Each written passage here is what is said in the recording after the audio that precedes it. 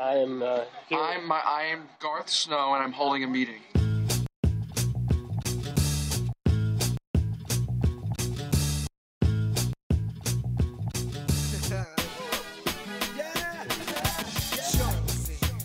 Guys, we're having a meeting. Um, I just I spoke with Mike Dunham, our retired our retired goalie from four years ago, who really follows the collective bargaining agreement. And he told me on the phone that if I if I claim the last two guys on waivers, Stay with me let me let me get this straight. If I claim the last two guys on waivers and I just combine their salaries and I give them each a million dollars if they win the Stanley Cup, it counts it counts for the cap. Uh, Garth, I have a question, Garth. So what you're saying is you want me to claim you want us to give you permission to claim Finley and Strait because their cap hit is combined one million dollars. Precisely that is what I'm saying. But you know, we just traded for Hickey, who was on a great I I don't I, I don't I don't even know who that is. Who claimed him? Who claimed him? I didn't do that. No, Garth, you did. No, when did I do that? We had this discussion yesterday. Okay? Hickey was on waivers. We were looking at the waiver lineup, and we realized that he was coming from the Kings, and you said you liked Moulson. You got him from the Kings, and we had this conversation. I never had this conversation with you.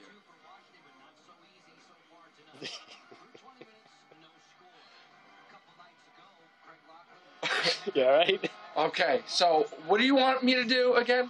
I'm just saying that if you put Poso on the first line, Oh, if you just put him there, listen to me. If you put him on the first line, I believe in him. yeah. I believe in Kyle Okposo, His but own Gar, don't believe in doesn't know how to skate.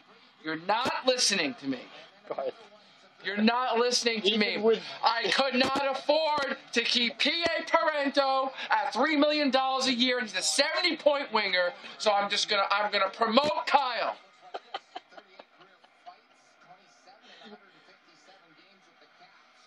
Garth, listen. Yes.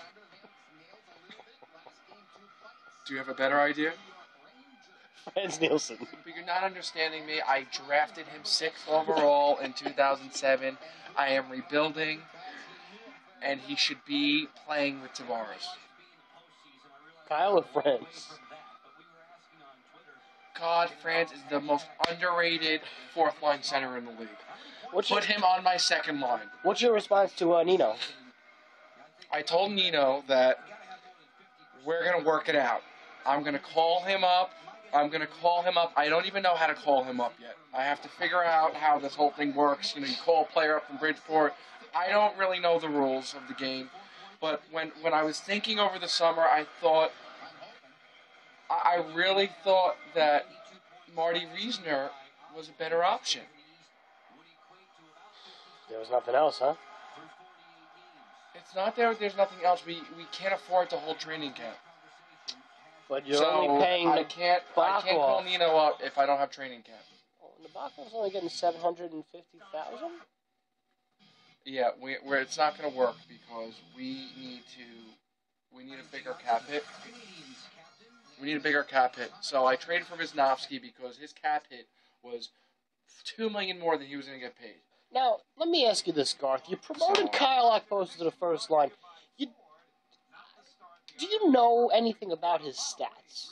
Negative 38 plus minus. How your response to this? Um, we have an old building, and what? we haven't Garth. We what? have an old building, and I'm trying to I'm trying to tell agents that we have an old building. The ice, it, it just isn't made like it is in other places. So, god damn it, we're just not as good as we would be if we were in a new building. Don't you get it? But you do play in other people's buildings. and other teams do come to the island. So, No, you're not understanding me. you you're not understanding me. You think the The Islanders have the building home? I have, I am GM of a team who plays in Jesus. the oldest building in the league. It's it's not like it's the oldest, and that's it. You you're gonna you're gonna do something with that? Cause I can't. I don't know what you want me to do. What do you want me to do about that? I think you should fight someone. Is that what you do, Garth? You know what I was thinking?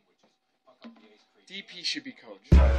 And when the boom in the box hits, hits. And when the boom in the box hits, hits. And when the boom in the box hits, hits. And when the boom in the box hits, hits. And when the boom in the box hits, hits. And when the The boom in the box audacity on hits, these hits. And when the motherfuckers. boom I move away from the rhythm to see if I'm alive. Pray that the writtens that you've been deprived will arrive at your doorstep and be let inside. Become a part of your life, dissecting every line. So when you mirror your life, is it the clearest of sight?